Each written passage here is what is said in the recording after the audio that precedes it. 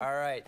Share Holidays kicks off today with our donation barrel rollout. Yeah, it's a busy day for us here, and our Brooklyn Andres is live at Second Harvest Food Bank, where those barrels are getting ready to go out to businesses and places all over the community, Brooklyn.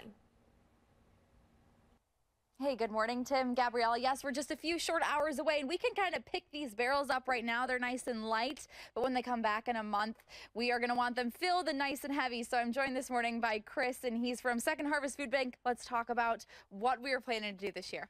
We're planning to fill these barrels. That's what we need to do because there's so many people in our community who are struggling with hunger. They need these barrels filled. So that's why we, we're doing Share Your Holidays once again this year. So let's talk about the goal that we're trying to hit. It's a pretty big number, but it's going to help so many people. And you guys are just seeing that need increase week after week at kind of all the food banks across the community.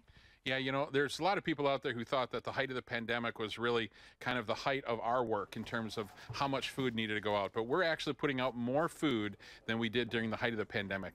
Last year, 26.8 million pounds of food. It was our biggest year ever. And we're already 20% higher than that this year.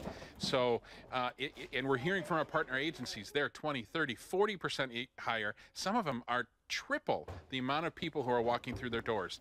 That's the kind of need that's happening in our community right now. Yeah, Chris, it's it's hard to hear that number and kind of wrap your mind around it, but just knowing that when we fill these up, how many meals we're going to be able to provide to families that really need it. So, how many barrels are headed out today? Where can people find these? How can they help this holiday season? Yeah, in terms of the barrels and the food drive por portion of this, we're going to have about 230, over 230 barrels that are going out to 130 different locations, and they're really all over southwestern Wisconsin. They go down to Beloit, they, they even go up to uh, you know the Dells area. Lots of them right here in Dane County. So we just need people to fill them up because on December 11th, we're going to be sorting all the food that we get.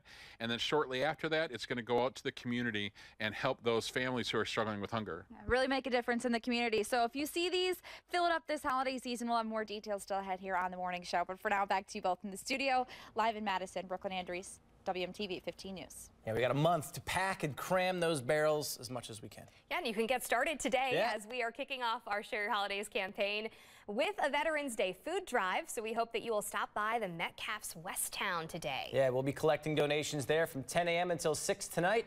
That's at the Metcalfe's Market near West Towne Mall on the west side of Madison. Come on by, drop off some non-perishable food items.